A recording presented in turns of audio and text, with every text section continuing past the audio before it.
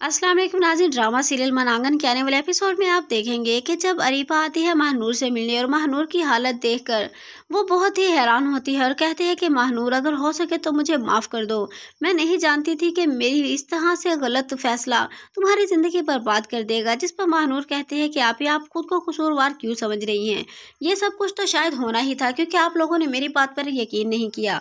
अरीबा कहती है कि, मैं तो यही समझती थी कि शायद सकलान तुम्हारा भला चाहता है जिस पर महानूर कहते हैं कि मेरा भला मेरा भला क्या चाहेंगे? वो सिर्फ़ और सिर्फ़ हमारी प्रॉपर्टी पर नज़र रखे हुए हैं।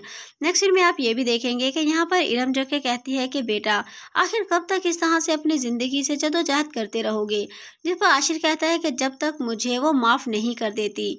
जिस पर इरम कहती है कि तुमने जो कुछ भी उसके साथ किया, उसमें गलती तुम्हारी है, तुम्हें पता है। आशिर में पहले समझती थी कि महानूर गलत है, लेकिन महानूर इतनी भी गलत नहीं।